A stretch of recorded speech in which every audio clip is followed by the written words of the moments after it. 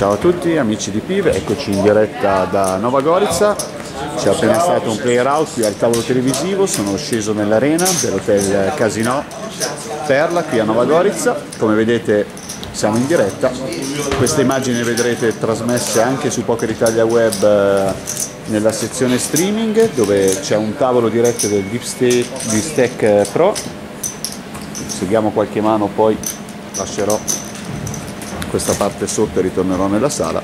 Sono 10 tavoli ancora in gioco, 86 le persone che stanno giocando per aggiudicarsi questo prestigioso torneo.